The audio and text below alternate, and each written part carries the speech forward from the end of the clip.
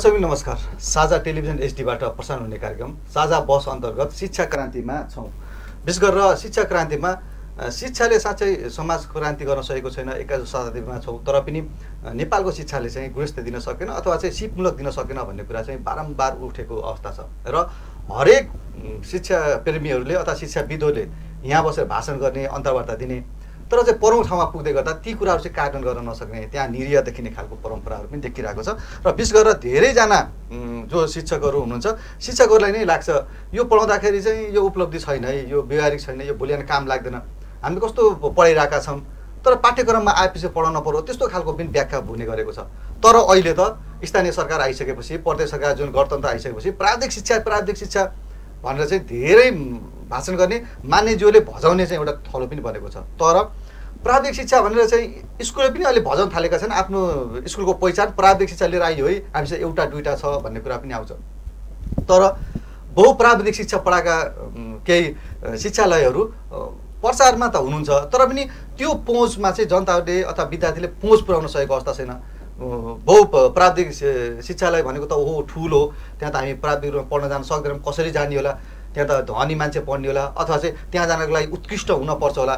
इन्ट्रान्समा face गर्न पर्छ होला हामी जस्तो मान्छे सक्दैनौँ होला। अथवा चाहिँ धेरै टाढा छ त्यहाँ बस बस्न खानलाई हामीले गर्न सकिन्न भन्ने खालको छ भने एकतिर अर्कोतिर चाहिँ कस्तो छ भन्दा त्यति पढेपछि या अठार महिनाको अथवा तिन वर्ष कोर्स पढेपछि त्यसको लागि फर्दर स्टडीलाई स्टडीको लागि चाहिँ हामी जान सक्दैनौँ। त्यही मात्रै बस्नुपर्छ भन्ने खालका पनि यो जुन सोचाइहरू समाजमा छन् त्यो सोचाइलाई थोरै हामीले आज चाहिँ हटाउने प्रयास गरेका छौँ। यति बेला चाहिँ कोरिया नेपाल बहुप्राविधिक शिक्षालय जुन यो बुटल उपनगरपालिकाको बाह्र वार्ड नम्बर बाह्र तामनगरमा रहेको छ। त्यो शिक्षालयको प्रमुखज्यूलाई हामीले लिएर आएका छौँ। र विशेष गरेर उहाँसित हामीले प्रयास गर्नेछौँ कि अहिले शिक्षालय जुन उहाँहरूले आवेदन फर्म भनेर अठार गतेको लागि चाहिँ जुन आवेदन फर्म लास्ट मिति यही भदौको अठार गतिसम्म राख्नु भएको छ। त्यो विषयमा रह्यो र त्यहाँ चारवटा खोला सञ्चालन हुन्छ। त्यो विषय रहेर हामीले चाहिँ यहाँ बुझ्ने प्रयास गर्दैछौँ। यति बेला हामीसित हुन्छ अचुत रात तिमी सिन्हा तपाईँलाई स्वागत छ। हस् धन्यवाद। नमस्कार। प्राविधिक शिक्षाको प्रमुख हुनुहुन्छ तपाईँ होइन? तपाईँको सेतो कपडा लगाएर आउनु भएको छ होइन? तपाईँलाई लाग्छ त्यो कोरिया नेपाल बहु प्राविधिक शिक्षालयको अगाडिबाट सर गाडी जाँदाखेरि ओहो यहाँको प्रमुख त होइन? हुनको लागि त धेरै पढ्न पर्छ होला भन्ने जस्तो चाहिँ मान्छेले त सोच्छन् कि? अथवा यहाँ पढ्नको लागि त एकदमै एकदम पैसावाला अथवा क्वालिटीवाला मात्रै पढ्न पाउँछन् होला। हामी जस्तो मान्छे स सकिन्न यहाँ पढ्नलाई भन्ने जुन मानसिकता छ नि त्यसलाई तोड्नको लागि कति सरल छ एउटा विद्यार्थीको लागि त्यहाँ प्रवेशको लागि? धन्यवाद। सर्वप्रथम त प्राविधिक शिक्षा तथा व्यावसायिक तालिम परिषद भन्ने एउटा संस्था नेपाल सरकारको अटोनोमस स्वायत्त संस्था हो। त्यो सरकारी निकाय हो। त्यो निकाय अन्तर्गत सञ्चालित आङ्गिक शिक्षालय कोरिया नेपाल बहुप्राविधिक शिक्षालय हो भन्ने कुरा सबैले बुझ्नु जरुरी छ। र यो शिक्षालय नेपाल सरकारको ऐन नियम र प्रचलित कानुनअनुसार सञ्चालन हुन्छ र सम्पूर्ण नेपालीहरू नेपाली नागरिकहरू र नेपाली नागरिकता होल्डर विद्यार्थी भाइ बिनाहरू त्यहाँ पढ्न पाउनुहुन्छ र यो शिक्षालय इन्जिनियरिङ विषयसँग सम्बन्धित डिप्लोमा लेभलका कार्यक्रमहरू सञ्चालन गर्ने शिक्षालय हो। यसरी बुझ्दाखेरि सबैलाई सहज पनि हुन्छ म ठ्याक्कै एउटा प्रश्न गरिहालेँ भाइ बहिनीको लागि र अभिभावकको लागि। यहाँ जति पनि डिप्लोमा इन्जिनियरिङ पढ्न आउनुहुन्छ उहाँहरू पढेर राम्रो सफल हुनुभयो भने फर्दर स्टडी गरेर तपाईँ जस्तो शिक्षालयको प्रमुख भएर आउने सम्भावना छ? एकदमै छ एकदमै छ। डिप्लोमा इन इन्जिनियरिङ कार्यक्रम भनेको प्राविधिक शिक्षाको दोस्रो खुड्किलो हो। योभन्दा अगाडि प्रि डिप्लोमा अथवा टिएसएलसी लेभलको कार्यक्रमहरू पनि सञ्चालन भइरहेका छन्। र विद्यार्थी भाइबिनाहरूले किन निराश हुनु जरुरी छैन भन्दाखेरि प्रि डिप्लोमा कार्यक्रममा एसिई उत्तीर्ण मात्रै भए पनि पुग्छ। र प्रि डिप्लोमा पढिसकेपछि डिप्लोमा लेभल पढ्न पाइन्छ। तर एकैचोटि दोस्रो खुड्किलो जस्तो डिप्लोमा इन इन्जिनियरिङ कार्यक्रम पढ्नको लागि उहाँहरूले साइन्स म्याथ र इङ्ग्लिस विषयको क्राइटेरिया फुलफिल गर्नुपर्ने हुन्छ। त्यसको लागि साइन्स र म्याथमा कम्तीमा सी ग्रेड आएको हुनुपर्छ भने इङ्ग्लिसमा डी प्लस आउँदा पनि हुन्छ। त्यति ग्रेड पुग्यो भने डिप्लोमा इन इन्जिनियरिङ पढ्न पाइन्छ। मानव कुनै विद्यार्थीको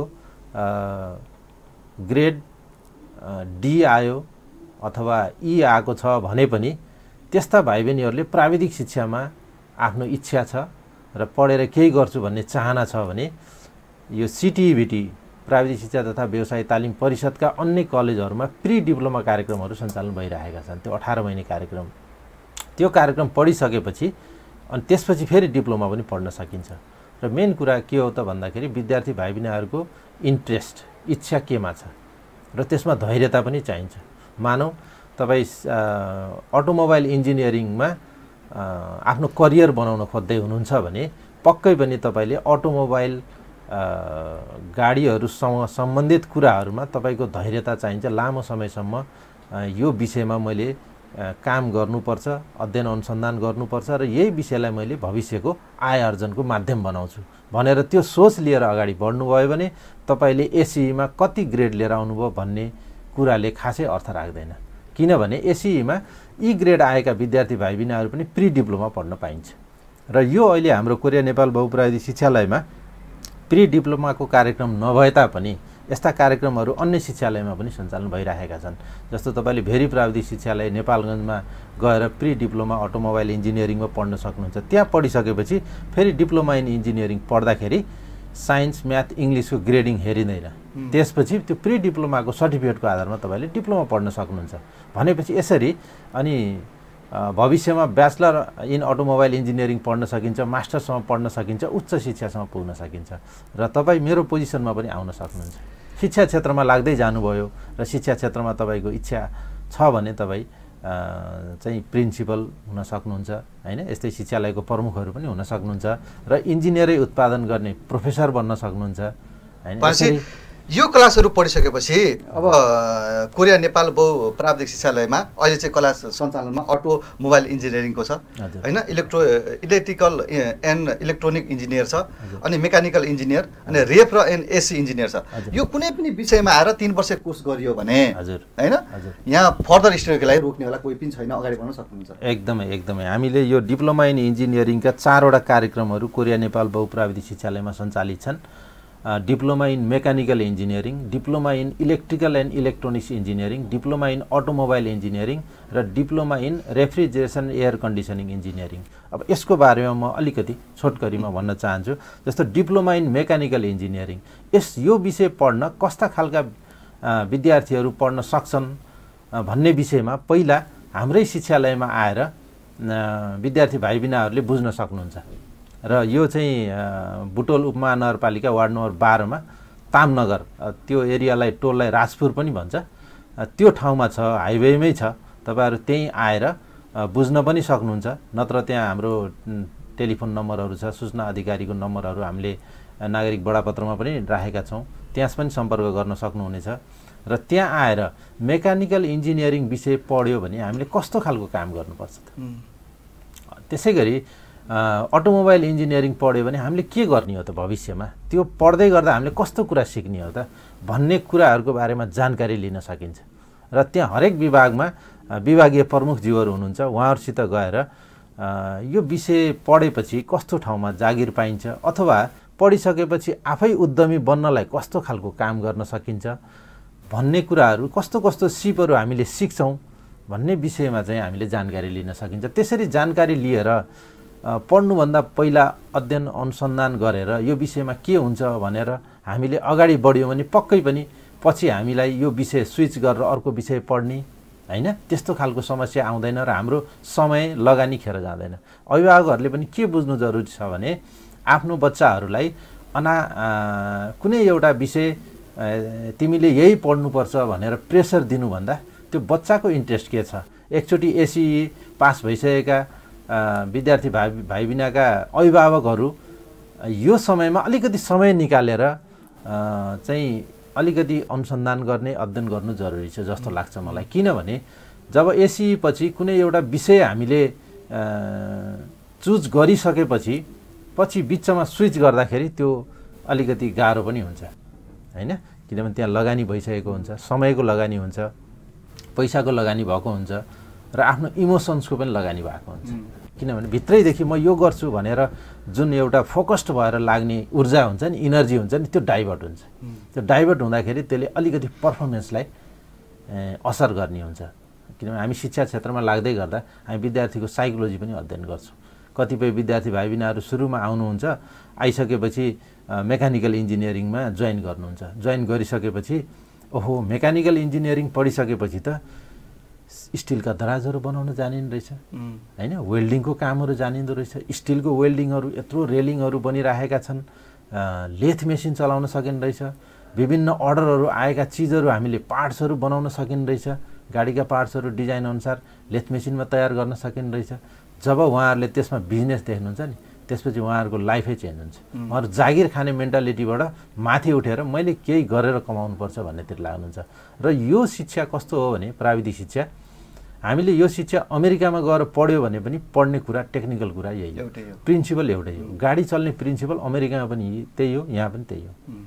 त्यसो भएको हुनाले मेन ब्यारियर चाहिँ ल्याङ्ग्वेज हुन्छ होइन? र टेक्निकल विषयहरू जनरली इङ्ग्लिसमै पढाइ हुन्छन्। त्यसको कारण छ किनभने यो विषयहरूको विकास के भयो त भन्दाखेरि अङ्ग्रेजी माध्यमबाटै विकास हुँदै आयो। र हामीले त्यसलाई नेपालीमा त्यसका टर्मिनोलोजीहरूलाई डिफाइन गर्ने प्रयास गरिरहेका छौँ। त्यो गर्दै पनि जानुपर्छ। र यहाँ नेपालका नेपाली विद्यार्थी भाइ बहिनीहरूले आफ्नै भाषामा त्यो कुराहरू पढ्न पायो भने अझ चाँडो सिकाइ अझ सजिलो हुन्छ भन्ने हाम्रो मान्यता हो। त्यसरी नै वेल्डिङसँग रिलेटेड प्लम्बिङसँग रिलेटेड मेसनसँग रिलेटेड कुराहरू र यो मेसिन लेथ मेसिन अपरेटरका कुराहरू इलेक्ट्रिसियनसँग रिलेटेड कुराहरू सोलर टेक्निसियनका कुराहरू यी सबै तालिमहरू हामीले नेपालीमा यसका पाठ्यक्रमहरू तयार भइसकेका छन्। त्यसो हुँदाखेरि के हुन्छ त भन्दाखेरि जो साधारण लेखपढ गर्न जान्ने मान्छेहरूलाई पनि प्राविधिक शिक्षा लिन सजिलो हुन्छ। सर यसमा के जस्तो कि विशेष गरेर तपाईँले जुन यो फोकसिङ जति पनि अहिले यो छ यो त सामान्य एकदमै अति आवश्यक चिजहरू घरमा अथवा अफिसमा परेका चिजहरूलाई रिपेयर गर्ने होइन बनाउने। त्यो खालको चाहिँ अभ्यास भइरहेको छ। जस्तो यहाँ डिप्लोमा इन्जिनियरिङको जुन भर्ना सम्बन्धी कुराहरू आएको छ यसमा छात्रवृत्तिको जुन कुराहरू होइन अनि डिस्काउन्टका कुराहरू त्यस्तो के छ प्रावधानहरू? एकदमै एकदमै। यो हामीले पहिलो कुरा त डिप्लोमा इन इन्जिनियरिङ तिन वर्ष पढ्नको लागि सहुलियत शुल्क जम्मा अन्ठानब्बे हजार रुपियाँ हामीले लिन्छौँ। यो अहिलेको शैक्षिक वर्षबाट यो चाहिँ नेपाल सरकारले नै तोकिदिएको छ। सही शुल्कमा एकरूपता गर्ने भनेर यो कार्यक्रमहरू आइसकेको हुनाले अबको शैक्षिक वर्षबाट भर्ना हुने विद्यार्थी भाइ बहिनीहरूले तिन वर्षको जम्मा अन्ठानब्बे हजार रुपियाँ तिर्नुपर्छ।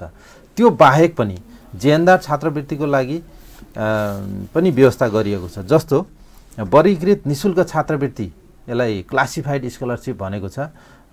यो सिटिभिटीको वेबसाइटमा गएर त्यहाँबाट अनलाइन यसको फारम भर्न सकिन्छ। त्यसको लागि के कस्तो छ भन्दाखेरि नेपालको सरकारी वा सामुदायिक विद्यालयबाट प्रवेशिका अथवा एसी उत्तीर्ण गरेको हुनुपर्ने छ। र जसले प्रि डिप्लोमा गर्नुभएको छ हाम्रो सिटिभिटीका आङ्गिक शिक्षालयहरूबाट प्रि डिप्लोमा गरेका विद्यार्थी भाइ बिनाको लागि यो वर्गीकृत नि शुल्क छात्रवृत्ति छ। यो छात्रवृत्तिको लागि आठ आठ क्लास र एसी दस क्लास यो दुइटै सामुदायिक विद्यालयबाट हुनु जरुरी छ। यो क्राइटेरिया भयो भने उसले तिन वर्षसम्म नि शुल्क पढ्न पाउने व्यवस्था गरिएको छ। यो कस्तो छ भने अडचालिसवटा कोटामध्ये चारजनालाई त्यसरी पढाइन्छ। र त्यसै गरी हाम्रो अहिले सिलेक्सन भर्ना प्रक्रियामा जो चाहिँ सर्वोत्कृष्ट हुन्छ उहाँलाई एउटा जेहेन्दार छात्रवृत्ति भन्छ इन्टेलिजेन्ट स्कलरसिप। गरेर त्यो एकजनाले पाउनुहुन्छ। जसको सबैभन्दा राम्रो ग्रेडिङ छ उहाँले चाहिँ छात्रवृत्ति पाउनुहुन्छ नि शुल्क त्यो चाहिँ पहिलो सेमेस्टरको लागि हुन्छ। र उहाँले पहिलो सेमेस्टरमा राम्रो गर्नुभयो भने फेरि दोस्रो सेमेस्टर पनि नि शुल्क हुन्छ त्यसरी गर्दाखेरि पाँचजना नि शुल्क भयो।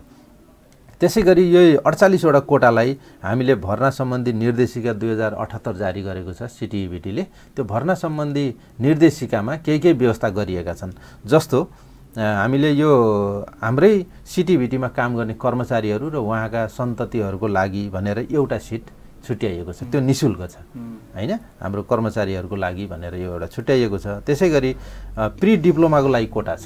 त्यो कोटा पाँचवटा छ। जो विद्यार्थी भाइ बिनाहरू जस्तो अटोमोबाइल इन्जिनियरिङ डिप्लोमा पढ्नु छ भने कुनै विद्यार्थीले प्रि डिप्लोमा अटोमोबाइल इन्जिनियरिङमा पढिसकेको छ भने त्यस्ता विद्यार्थी भाइ बिनाहरूलाई कोटाको व्यवस्था गरिएको छ। त्यो पाँचवटा छ। भनेपछि जो जो विद्यार्थी भाइ बिनाहरूको ई ग्रेड आयो अथवा कम ग्रेड आयो डाइरेक्ट डिप्लोमा पढ्न सक्नु भएन। त्यस्ता भाइ बिनाहरू पहिला प्रि डिप्लोमा पढ्ने प्रि डिप्लोमा पढिसकेपछि अनि फेरि डिप्लोमा पढ्दाखेरि यो कोटा मार्फत अगाडि आउन सकिन्छ। नत्र फेरि साइन्स म्याथ र इङ्ग्लिसको ग्रेडिङ फुलफिल गर्नुपर्ने हुन्छ। र जसलाई प्राविधिक शिक्षामा एकदमै इन्ट्रेस्ट छ त्यो विद्यार्थी भाइ बिनाहरू प्रि डिप्लोमाबाट अगाडि बढ्दै माथि इन्जिनियरसम्म पुग्न सक्ने व्यवस्था पनि छ। जस्तो यसमा एउटा एउटा यसमा सरोकार के रह्यो भन्दाखेरि जस्तो कि होस्टेलको व्यवस्था छ। मानव पश्चिम कपिलवस्तुको कुनादेखि अथवा अर्घाखाँचीदेखि पश्चिम कुनै ठाउँदेखि। होइन? त्यहाँ आउनको लागि त तपाईँसँग सीमित मात्रैको छ। एकदमै एकदम। अब त्यसलाई कसरी म्यानेज गर्नुभएको छ? ओके। अब हामीलाई यहाँ सीमित मात्रामा होस्टलको व्यवस्था गरिएको छ जस्तो बोइजहरूको लागि पैँतिसवटा जति हामी कहाँ सिट छ होस्टलमा राख्ने भवनहरू उपलब्ध छन् महिलाहरूको लागि पन्ध्रवटा छ। र अहिलेसम्म महिलाहरू होस्टल बस्छु भन्ने महिलाहरूलाई हामीले अहिलेसम्म उपलब्ध गराउन सकिएको छ। किनभने इन्जिनियरिङ विषयमा हामीले आठजना महिला हरेक कार्यक्रममा राख्दा पनि महिलाहरूको त्यति ठुलो क्रेज चाहिँ छैन। महिलाहरूको चाहिँ आवेदन फारम अलि न्यून नै आउने गर्छ। यो इन्जिनियरिङ विषय भएर पनि होला। महिलाहरू धेरै हेल्थ र हेल्थका कार्यक्रमहरूमा अलि बेसी फोकस हुने नर्सिङ फार्मेसी जस्ता विषयहरूमा। त्यस भएको हुनाले इन्जिनियरिङमा महिलाहरूको अलिकति कम आवेदन फारम आउने गरेको छ। र जति आउनुहुन्छ अलि टाढाका हुनुहुन्छ भने उहाँहरूले होस्टल फेसिलिटी पाउनु भएको छ। अब यो बोइजहरूको केसमा होइन? पुरुष विद्यार्थीहरूको केसमा कस्तो छ भन्दाखेरि धेरै जसो त हाम्रो यो रूपेन्देही नवलपरासी कपिल वस्तु लगायतका विद्यार्थी भाइ बहिनीहरू अ, घरबाटै आउने जाने पनि गर्नुभएको छ। जसले घरबाटै आउने जाने अलिकति पाउनु भएको छैन उहाँहरूले नजिकै रेन्टमा बसेर कोठा लिएर दुईजना विद्यार्थीले सेयर गरेर त्यसरी चाहिँ पढिराख्नु भएको पनि छ। र अनि धेरै टाढ टाढाबाट आउने पनि हुनुहुन्छ जस्तो सुदूरपूर्व सुदूरपश्चिम यता हिमाल तिरबाट आउने पहाडी जिल्लाबाट आउने विद्यार्थी भाइ बहिनीहरूलाई हामीले डिस्टेन्सको आधारमा दूरीको आधारमा कति टाढाको विद्यार्थी छ भनेर हामीले होस्टल दिने व्यवस्था गरेका छौँ। र त्यसरी होस्टल चाहिँ व्यवस्थापन गरिएको छ र सबै विद्यार्थीलाई कम्पलसरी पनि गरिएको छैन। कतिपय विद्यार्थी भाइ बहिनीहरू होस्टलभन्दा आफै रेन्टमा बस्न इच्छुक पनि हुन्छन्। यसमा के खर्चको के छ खर्च होस्टलमा चाहिँ प एकजना विद्यार्थीले महिनाको पाँच सय रुपियाँ तिर्नुपर्ने हुन्छ। शुल्क त्यति तोकिएको छ र खानाको व्यवस्था हाम्रो कलेजभित्रै क्यान्टिनको व्यवस्था छ। भन्नाले क्यान्टिनको पैसा फ्री खानाको? स्वयं स्वयं विद्यार्थी भाइ होस्टेलमा। बसेको मात्रै तपाईँको पाँच सय। बसेको पाँच सय। खाना चाहिँ विद्यार्थीले आफ्नो इन्ट्रेस्ट अनुसार कसैले अब नास्ता अलिक फरक खानु होला होइन? विद्यार्थी भाइ बहिनीहरूले आफ्नो हैसियत हेरेर उहाँहरूले चाहिँ खाजा खाना खाने गर्नुहुन्छ। त्यही अनुसार उहाँले पेमेन्ट गर्नुहुन्छ। सर एउटा कुरा अब यसमा त अब तपाईँहरू त को- यो जुन बहुप्राविधिक शिक्षालय अन्तर्गत रहेर धेरै ठाउँमा कार्यक्रममा जानुहुन्छ धेरै सेमिनारहरू गोष्ठीहरू हुन्छ होला छलफल हुन्छ होला। अनलाइनको बेलामा अब यो प्राविधिक शिक्षा कतिको सफल हुन्छ त भन्ने कुरा धेरै चासोको विषय छ। एकदमै कसरी। गर्नुभएको छ? यस्तो छ अनलाइनमा पनि अब सैद्धान्तिक पाटोलाई चाहिँ अनलाइनबाट हामीले कभर गर्ने प्रयास गरेका थियौँ र अनलाइन हुँदै गर्दा हामीले हाम्रो शिक्षालय मार्फत अनलाइनका कार्यक्रमहरू सञ्चालन गरे तापनि त्यो रिसिभिङ साइट जहाँ विद्यार्थी बसिरहेका छन् त्यो ठाउँमा इन्टरनेटको सुविधा लगायत अन्य फेसिलिटीहरूको कारणले गर्दा पनि एकदमै हन्ड्रेडमा हन्ड्रेड पर्सेन्ट प्रभावकारी त हुन सकेको देखिएन सैद्धान्तिक विषयको लागि पनि। तैपनि सैद्धान्तिक विषयहरूमा हाम्रो विद्यार्थीहरूबाट फिडब्याक लिँदाखेरि ठिकै एभरेजमा त्यसको फिडब्याक आएको छ होइन? तर प्र्याक्टिकल पार्टको लागि अनलाइनबाट त्यो अलिकति सम्भव देखिएन। जस्तो हामीलाई लेथ मेसिन आफै चलाउनु पर्ने हुनसक्छ होइन? इलेक्ट्रिकलमा वायरिङ आफै गर्नुपर्ने हुन्छ स्विचहरू फेर्नुपर्ने हुन्छ एमसिबीहरू चेन्ज गर्नुपर्ने हुन्छ त्यस्तै अन्य सोलरका प्यानलहरू फिट गर्नुपर्ने हुन्छ।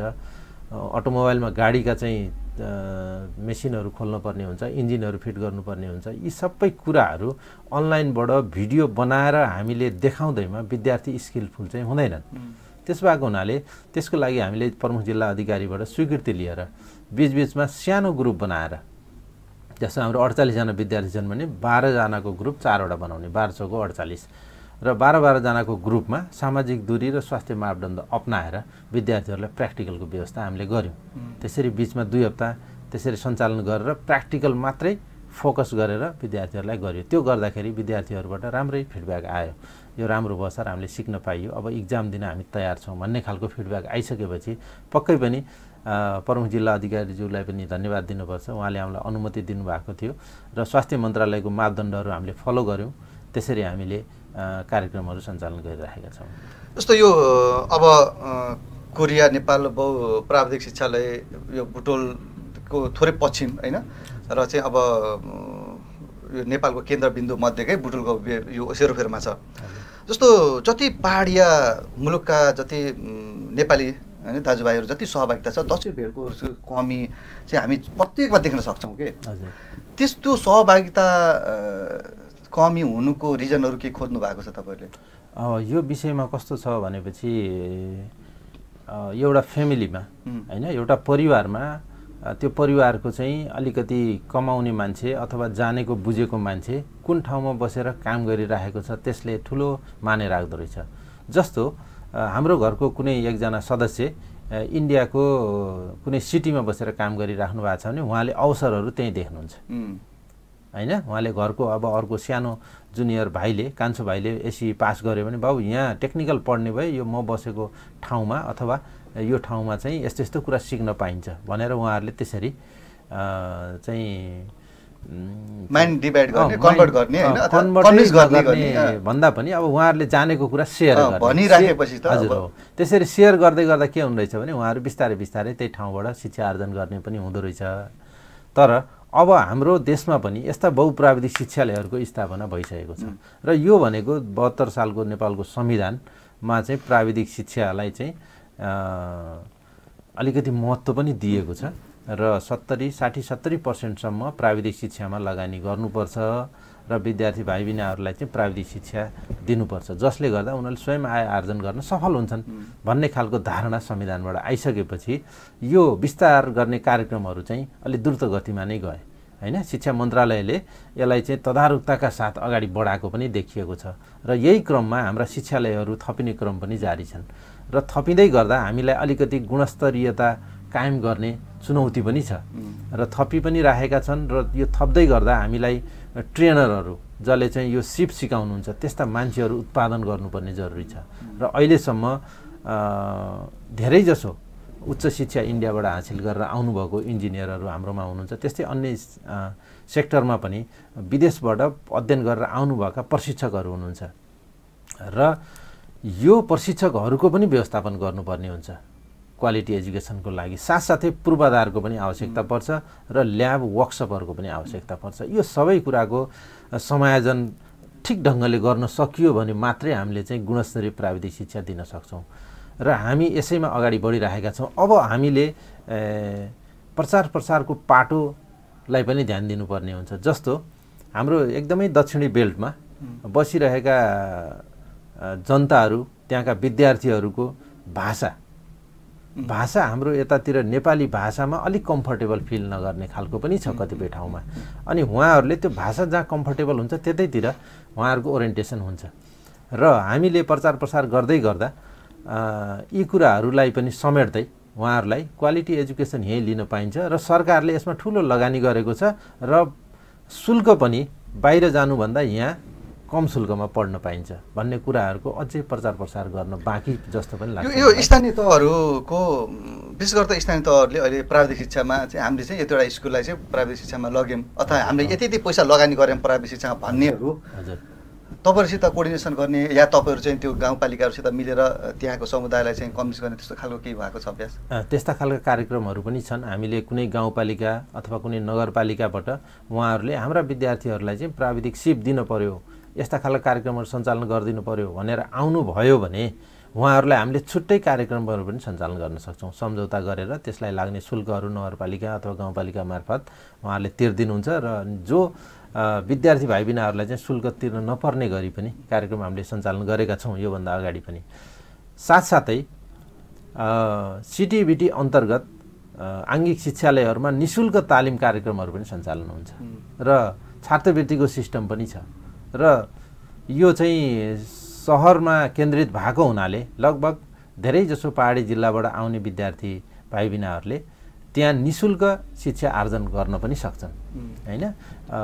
छोटो अवधिको तालिमहरू सबै हामीले निशुल्क नै गर्ने गरेका छौँ र यो लामो अवधिको तालिममा पनि सहुलियत शुल्क यही शुल्क अन्य निजी शिक्षालयहरूमा पक्कै योभन्दा तिन गुणा बढी पैसा हुन्छ। होइन? त्यस भएको हुनाले यो शुल्क न्यूनतम शुल्क छ र यसमा नेपाल सरकारको एउटा मापदण्ड पुरा गरेका शिक्षकहरू प्रशिक्षक हुनुहुन्छ यहाँ होइन? उहाँहरूले प्रशिक्षण गर्नुहुन्छ। त्यसो भएको हुनाले ट्रेनरको हिसाबले शुल्कको हिसाबले र अन्य भौतिक पूर्वाधार र ल्याब वर्कसपको हिसाबले हामीले शिक्षाले शिक्षा चाहिँ गुणस्तरीय प्रदान गर्न सक्छौँ भन्ने लाग्छ। र यस यसको अवसर लिनलाई म के आग्रह गर्न चाहन्छु भने हाम्रो गाउँपालिकाको प्रतिनिधिहरू हुनुहुन्छ नगरपालिकाको हुनुहुन्छ उहाँहरूले यस्ता शिक्षालयहरूसित समन्वय गरेर आफ्नो नगरपालिकाका विद्यार्थी भाइ बहिनीहरूलाई जनचेतना जगाइदिने त्यो ठाउँमा गएपछि तालिमहरू पनि लिन पाइन्छ र डिप्लोमा लेभलका कार्यक्रमहरू पनि पढ्न पाइन्छ भन्ने खालको म्यासेज चाहिँ आफ्नो वडा कार्यालय मार्फत हुन्छ कि टोल सुधार समितिहरू मार्फत हुन्छ कि महिला दिदीबहिनीहरूको समूह हुन्छ महिला समूहहरू मार्फत हुन्छ कसरी हुन्छ यो म्यासेजहरू चाहिँ त्यहाँ प्राविधिक शिक्षालयमा गएपछि हामीले प्राविधिक सिप सिक्न पाइन्छ। भन्ने खालको म्यासेजहरू उहाँहरूले पनि कन्भे गरिदिनु भयो भने पक्कै पनि धेरै जसो विद्यार्थी भाइ बहिनीहरूले प्राविधिक शिक्षा यसमा मैले एउटा के जोडेँ भन्दाखेरि यसैमा जस्तो यहाँ पढेको जुन तपाईँको शिक्षालयमा पढेका विद्यार्थीहरू जस्तो कहिलेकाहीँ सुन्ने गरिन्छ कोरिया जान पाइन्छ अरे। होइन? त्यहाँ पढेपछि त भन्ने खालको त्यस्तो बाहिर चाहिँ सुनिन्छ। के छ त्यो? खास के हो त्यो? एकदमै यो शिक्षा प्राविधिक शिक्षा भनेको इट्स अ ग्लोबल एजुकेसन। होइन? यो शिक्षा लिइसकेपछि विश्वको जुनसुकै कुनामा गएर पनि काम गर्न सकिन्छ। र त्यसमा कोही विद्यार्थी भाइ बहिनीहरूलाई कोरियै जानु पर्यो भने पनि उहाँहरूले त्यहाँ कोरियामा कुन ल्याङ्ग्वेज प्रयोग हुन्छ त्यो ल्याङ्ग्वेजमा काम गर्न सक्ने खालको इफिसियन्सी हुनु पऱ्यो होइन? फ्लुएन्सी हुनु पऱ्यो कोरियन भाषा अलिकति सिक्नुभयो र उहाँलाई हाम्रो यहाँभित्र पढाइ हुने कोर्स जस्तो डिप्लोमा इन अटोमोबाइल इन्जिनियरिङकै कुरा गरेँ मैले। त्यो अटोमोबाइल सम्बन्धी सिप छ उहाँलाई र उहाँले चाहिँ कोरियन भाषामा कम्युनिकेट पनि गर्न सक्नुहुन्छ। र त्यो भाषाको मापदण्ड पार गर्नुभयो भने उहाँ कोरिया जान सक्नुहुन्छ। र कोरिया मात्रै होइन जापान पनि जान सक्छ सजिलो यो एकदम नामै कोरियासित जोडिएको भएर होला होइन? हजुर हजुर। यो हजुरलाई म एउटा कुरा क्लियर गरिदिइहालौँ। यो कोरियासँग किन जोडियो नाम किन कोरिया राखियो होइन? कोरिया नेपाल। यो कस्तो भने नेपाल र कोरिया सरकारबिच धेरै पुरानो सम्बन्ध छ र त्यही सम्बन्धको आधारमा कोइका भन्ने एउटा चाहिँ अन्तर्राष्ट्रिय नियोग छ जसले विश्वभरि यस्ता खालका सेवामूलक कामहरू गर्ने गर्छ। त्यो कोइका मार्फत यसका भवनहरू निर्माण गरिएको थियो र यहाँ भएका सम्पूर्ण मेसिन औजार टुल्स इक्विपमेन्टहरू सुरुमा सुरुमा इस्टाब्लिस गर्दाखेरि चाहिँ कोरियन गभर्मेन्टले प्रदान गरेको हुनाले यो कोरिया नेपालको मित्रता कायम होस् र सधैँ यो हामीले सम्झिराखौँ भनेर कोरिया नेपाल बहुप्रविधि शिक्षालाई नामाकरण गरिएको र नामाकरण गरिसकेपछि उहाँहरूले हामीलाई ह्यान्डओभर गर्नुभयो र त्यसमा दुइटै देशको नाम छ। नेपाल पनि छ कोरिया पनि छ। त्यस भएको हुनाले हाम्रो यो एउटा सम्बन्धको चिनारी मात्रै हो र अन्य कुराहरू यहाँ हामीले गर्ने कार्यक्रमहरू नेपाल सरकार पाठ्यक्रम विकास केन्द्रबाट सबैबाट एप्रुभ कार्यक्रमहरू हामीले सञ्चालन गर्ने। त्यस भएको हुनाले यहाँ कोरियन भाषा पढाइ हुन्छ अथवा कोरियन गभर्मेन्टको कार्यक्रमहरू यहाँ सञ्चालन हुन्छ र यहाँ पढ्ने बित्तिकै कोरियन गभर्मेन्टले सबै नेपालीलाई कोरिया लैजान्छ भन्ने कुरा चाहिँ त्यो सत्य होइन। हामीले के बुझ्नुपर्छ भने हामीले सिप सिकेपछि विश्वको जुनसुकै कुनामा गएर पनि काम गर्न सकिन्छ भन्ने कुरा चाहिँ बुझ्नु पऱ्यो विशेष गरेर हामीले जुन यो संवादलाई जुन केन्द्रित गर्दैछौँ विशेष गरेर प्राविधिक शिक्षाको विषयमा अहिले जति पनि स्कुलहरूले सुरुवात गरेर जति पनि प्रचारहरू भएका छन् त्यहीको भिडभाडमा बहु शिक्षा जुन प्राविधिक शिक्षालय भनेर चाहिँ सैना महिनाको ठ्याक्कै चाहिँ पूर्वपट्टि सिमाना र बुटोलुपको एकदम सिमाना पश्चिमको सिमाना ठ्याक्कै बिचमा वार्ड नम्बर सा बाह्र तानवरमा चाहिँ यो जुन चलिरहेको छ धेरैजनालाई लाग्न सक्छ यो ठाउँमा पढ्न जानको लागि के गर्नुपर्छ किन जाने भनेर जति पनि कौतुकताहरू छ सर यो प्रष्ट रूपमा एकचोटि भनिदिनुहोस् होइन? कि अब एउटा अभिभावकले प्राविधिक शिक्षा किन पढाउने अथवा विद्यार्थीहरू यो कोरिया नेपाल बहु प्राविधिक शिक्षालयमा किन आउने भनेर भन्यो भने के के भन्नुहुन्छ? सबैभन्दा पहिला त प्राविधिक शिक्षालय किन किन? प्राविधिक शिक्षा नै किन? प्राविधिक शिक्षा भन्ने बित्तिकै हामीले के बुझ्नु पऱ्यो भने यो सिपमा आधारित शिक्षा हो। हामीले कुनै पनि सिप सिक्यौँ भने त्यो सिपलाई प्रयोग गरेर आय आर्जन गर्न सकिन्छ। होइन? यसमा सैद्धान्तिक ज्ञानहरू मात्रै हामीले सम्झिएर दिमागमा चाहिँ इन्फर्मेसन फ्याक्टहरू मात्रै जम्मा गरेर हामीले कुनै कामहरू गर्न सकिँदैन होइन? र टेबलमा बसेर गर्ने कामहरू र हातलाई पनि चलाएर गर्ने कामहरू हुन्छन् र त्यसको चाहिँ हातले गरेर चलाएर गर्ने कामहरू त्यो कामहरूको दायरा ठुलो छ।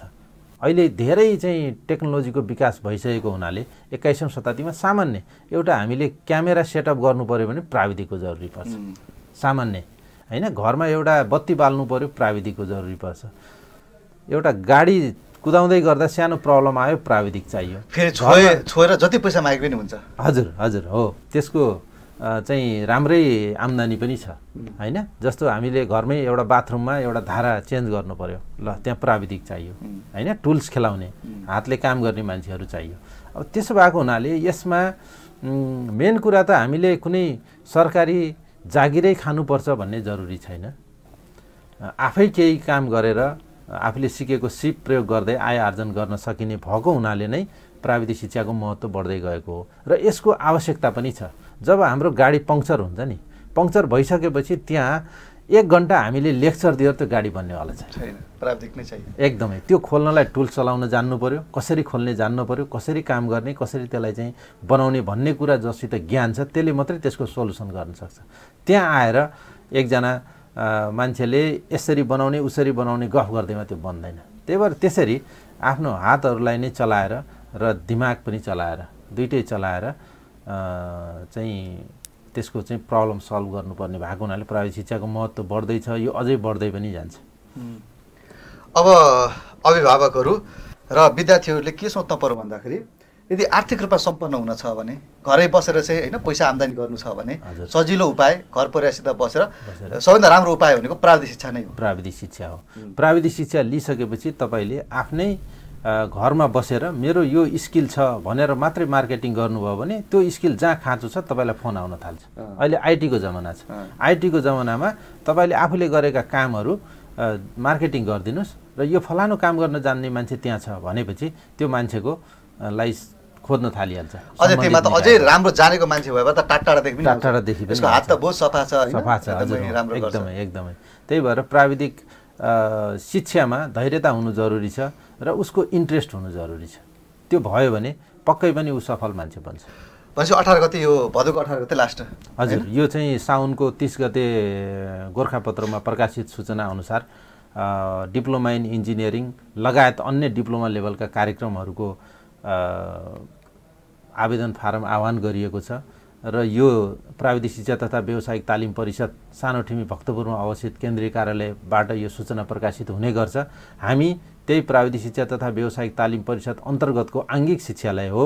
यो आङ्गिक शिक्षालयमा पनि त्यही सूचनाको आधारमा हामीले आवेदन फारम सङ्कलन गरिराखेका छौँ र त्यो आवेदन फारम यही अठहत्तर भदौ अठार गते पाँच बजेसम्म हामीले कलेक्सन गर्छौँ? यो भर्ना प्रक्रिया शुल्क भनेर आठ सय रुपियाँ।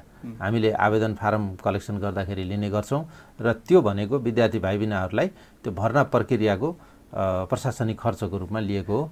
त्यो सूचनामा प्रकाशित भएको शुल्क नै हामीले लिने गर्छौँ। जस्तो यसमा यसमा एउटा कुरा भनिदिनुहोस् त। जस्तो यसमा जति पनि सहभागिता हुन्छ त्यो सबैले त पाउनु होला पक्कै पनि होइन? हजुर अँ, पक्कै पनि। सबैजनालाई पुग्ने खालको पूर्वाधार हामी कहाँ छैन। हामीले हरेक कार्यक्रममा अडचालिसजनाको लागि नै त्यसरी नै वो ल्याब वर्कसपहरू व्यवस्थापन गरेका छौँ र यो प्राविधिक शिक्षा सञ्चालन गर्दै गर्दाखेरि हरेक विद्यार्थीले हरेक एकजना चाहिँ सहभागीले सबै सिप सिकोस् भनेर नै हामीले त्यसको व्यवस्थापन गर्नुपर्ने हुन्छ। त्यसो भएको हुनाले यो अलिकति महँगो शिक्षा पनि छ। राज्यले यसमा अलिकति ध्यान दिनुपर्ने जरुरी छ। र हामीले यो कार्यक्रम ल्यायौँ ल्याउने बित्तिकै अब हामी एकाएक स्किलफुल हुन्छौँ भन्ने खालको सोच कतै कतै पाइन्छ होइन? यसलाई चाहिँ त्यो नाराको रूपमा मात्रै नबनाइकन त्यो कार्यक्रमहरू ल्याइसकेपछि त्यो कार्यक्रमलाई सफल बनाउन र त्यो कार्यक्रम पढेका विद्यार्थी भाइ बहिनीहरू सिपयुक्त स्किलफुल हुनको लागि हामीले के के कुरामा ध्यान दिनुपर्छ त्यो पाटो पनि सोच्नु जरुरी छ। त्यसैको आधारमा यो कोटा निर्धारण चाहिँ हामीले गरेका हौँ जस्तो अडचालिसजना विद्यार्थी भाइ बहिनीको लागि सेटअप गरेको छ भने हामीले उनपचासौँ विद्यार्थीलाई समस्या हुन्छ। होइन? त्यस भएको हुनाले अब छयालिस भयो भने राज्यको दुईवटा विद्यार्थीलाई पढाउने स्रोत खेर जान्छ र हामीले अडचालिस गऱ्यौँ भने ठिक्क अडचालिसजनाको लागि हाम्रो सेटअपमा विद्यार्थीलाई स्किलफुल बनाउन सकिन्छ। त्यस भएको हुनाले यो कोटा सिस्टम लागू गरिएको हो। सायद प्राविधिक शिक्षामा सबै ठाउँमा medical education engineering education forestry hospitality agriculture जति टेक्निकल हाम्रा फरक फरक विषयहरू छन् त्यो विषयहरूमा सबै ठाउँमा कोटाको व्यवस्था गरिएको छ। त्यो के त भन्दाखेरि हरेक इन्डिभिजुअल हरेक सहभागीको लागि सबै सिपहरू सिकोस् भनेर हामीले त्यो सेटअप गरेका हुन्छौँ। त्यो सेटअपभित्र उहाँहरूलाई लगेर हामीले स्किलफुल बनाउने हो। त्यसो भएको हुनाले यो कोटा प्रणाली लागू गरिएको छ र अन्य जनरल विषयको लागि अथवा मास कम्युनिकेसन अथवा मास एजुकेसन दिने ठाउँमा थुप्रै विद्यार्थीहरूलाई राखेर हामीले सैद्धान्तिक ज्ञान नलेज इन्फर्मेसन दिन सक्छौँ। तर प्र्याक्टिकल गर्ने ठाउँमा जहाँ मेसिनहरू चलाउने ठाउँमा हरेक विद्यार्थीलाई प्र्याक्टिस गर्ने ठाउँमा त्यसरी मासमा शिक्षा दिन गाह्रो हुन्छ। त्यस भएको हुनाले प्राविधिक शिक्षा महँगो छ तर असाध्यै उपयोगी पनि छ। सर तपाईँलाई धन्यवाद। हस् धन्यवाद। दर्शक पनि यति बेलासम्म हामीले प्राविधिक शिक्षाको विषयमा रहेर छलफल गरिरहेका थियौँ। प्राविधिक शिक्षा भन्नुसाथ सबभन्दा त्यसको सुन्दर पक्ष भनेको त्यसको ल्याब नै हो। यदि प्राविधिक शिक्षामा यदि ल्याबको राम्रो व्यवस्था छैन भने त्यसले प्राविधिक शिक्षा साँच्चै त्यसको सिपयुक्त हुन सक्दैन अथवा त्यसको हात चाहिँ क्लियर हुन सक्दैन। किनकि सानो स्क्रुले पनि ठुलो क्षति पुर्याउन सक्छ। तर कोरिया नेपाल बहुप्राविधिक शिक्षालय हामी नजिकै छ। हामी उद्घाटनदेखि लिएर धेरै चाहिँ गएका छौँ। र सैनमय नगरपालिकाले पनि त्यहाँ चाहिँ यो जुन क्लास चलाइरहेको थियो। आफ्नो विद्यार्थी जनताहरूको लागि अथवा चाहिँ यो यो सम्बन्धित जो स्वरोकार बेरोजगार हुन्छ त्यो युवाको लागि। त्यो बेला पनि जाँदै गर्दाखेरि त्यहाँको चाहिँ ल्याब चाहिँ कोरिया सरकारले नै सहयोग गरेको हुनाले उत्कृष्ट मध्ये हामी देखेका मध्ये चाहिँ उत्कृष्ट चाहिँ हामीले पनि भन्छौँ किनकि त्यहाँ चाहिँ त्यो खालको चाहिँ ल्याब चाहिँ व्यवस्था छ। र अनलाइनको समयमा पनि जुन हामीलाई चासो थियो अनलाइनको समयमा प्राविधिक शिक्षा कस्तो होला? किनकि धेरैजनाले चाहिँ अनलाइनमा पढेका इन्जिनियरको घर बनाएको भनेर बाङ्गो घर बनाएको सानो घर बनाएको पनि हामीले आलोचनाहरू भएको देख्न सकिन्छ। तर यसमा पनि क्लियर के छ भन्दाखेरि सरहरूले चाहिँ समय मिलाएर दूरी मिलाएर होइन अनुमति लिएर आएर कक्षा सञ्चालन गरेको पनि हामीले पाइएको छ। र विशेष गरेर प्राविधिक शिक्षाले जहिलेसुकै कुरा हुन्छ विदेशमा जाँदा के गर्ने भन्दा केही जानेको छैन के गर्ने त भन्दा खालि त्यही जाने कतिको त हात काटेर आएको अवस्था पनि देखिन्छ। त्यो प्राविधिक नखेलाएकाले प्राविधिकमा पऱ्यो भने कम्पनीमा पऱ्यो त्यो जटिलताहरू नेपालको समस्या नै छ। र प्राविधिक शिक्षाले सिक्यो भने विदेशमा जाँदा जहाँ जाँदा पनि त्यसले औजार खेलायो भने पैसा कमाउन सक्छ। एउटा स्क्रु लिएर बस्यो भने पनि उसले पैसा कमाउन सक्छ। जिपे जीवनयापन गर्न एकदम सहल छ। र यो विषय रहेर हामीले धेरैजना यो नगरको जुन नगरपालिका गाउँपालिका छ शिक्षा शाखा प्रमुखहरूसित मेयरहरूसित लगायत मान्यज्यूहरूसित हामीले अन्तर्वार्तामा यो प्रश्नहरू बारम्बार गरिरहेका छौँ। प्राविधिक शिक्षालाई अझै उत्कृष्ट गराउन ल्याब एकदमै व्यवस्थित तरिकाले सञ्चालन गर्नको लागि र सुविधा सम्पन्न चाहिँ प्राविधिक शिक्षा दिन अझैसम्म कति समय लाग्ला भन्ने प्रश्नहरू पनि हाम्रो बिचमा चाहिँ यता कता गुजिरहेको छ र सीमित सिटले गर्दाखेरि जो इन्ट्रेस्ट भएका व्यक्तिहरू तिनीहरू पनि व्यवस्थापन भएको इन्ट्रेस्ट भएकाहरू चाहिँ सबैले पाउँदाखेरि जुन रोजगार छ त्यो दायरा बढ्ने थियो भन्ने कुरा पनि कुराहरू उठिरहेको अवस्थामा पक्कै पनि हामीले जुन यो कोरिया नेपाल प्राविधिक शिक्षालयको आज भर्ना अभियान सम्बन्धी र थोरै यसको केही पृष्ठभूमिलाई मात्रै हामीले छुने प्रयास गरेका छौँ। आगामी दिनमा अच्युत राज सिन्हा सरलाई फेरि लिएर आएर यहाँका नगर प्रमुख या सम्बन्धित व्यक्तिहरूसित सबैसित राखेर प्राविधिक शिक्षालाई अझै व्यवस्थित र जनसमुदायसम्म पुर्याउनको लागि त्यो व्यक्तिहरूलाई त्यहाँ ल्याउनको लागि कस्तो चाहिँ स्थानीय सरकारले या भने प्रदेश सरकारले भूमिका खेल्यो अभिभावकले भूमिका खेल्यो भने फाइदा होला त यो विद्यार्थीहरूलाई भन्ने विषयमा छलफल गर्नेछौँ। भन्दै म कार्यक्रम प्रस्तुता भुवन जिसी पनि यहाँदेखि बिदा हुन्छु। हस्त धन्यवाद। नमस्कार।